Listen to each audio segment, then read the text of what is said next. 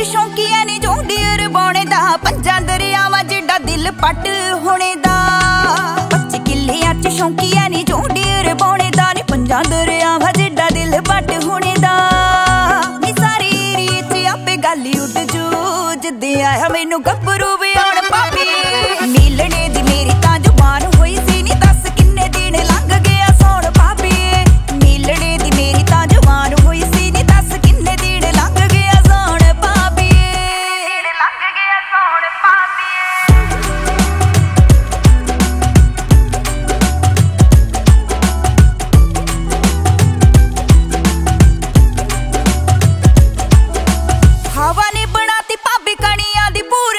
ਅਲੜ ਪੁਣੇ ਚ ਗੋਈ ਹੋ ਜਨਾ ਕਸੂਰਨੀ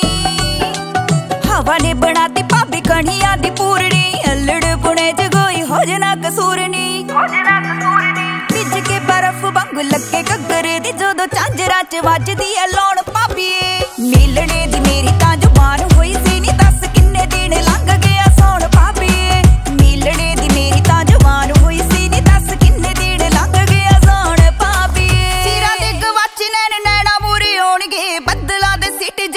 ਫੁੱਲ ਬਰਸੋਣਗੇ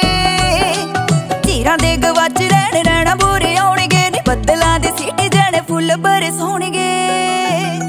ਪਿੱਪਲ ਦੀ ਪੱਤੀਆਂ ਚੋਂ ਨਿਕਲੂ ਸੰਗੀਤ, ਆਪੇ ਇਸ਼ਕੇ ਦੀ ਵਜਣੀ